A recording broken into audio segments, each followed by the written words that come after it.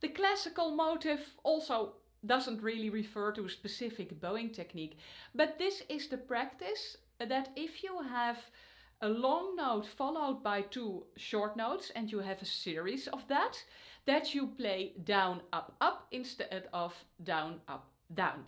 This is easier to do in a high tempo and the articulation is also cleaner and crispier.